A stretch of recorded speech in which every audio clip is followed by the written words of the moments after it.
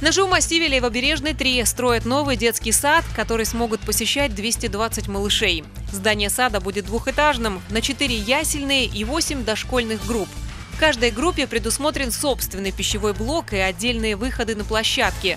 На сегодня построено 30% здания. Уже утеплили цоколь, перекрывают плитами первый этаж, переходят ко второму. Параллельно подводятся коммуникации, водопровод, канализация, теплосети. Обустраивается крыльцо и возводится модульная котельная. Она будет работать на пилетах. Открытие сада запланировано на конец этого года.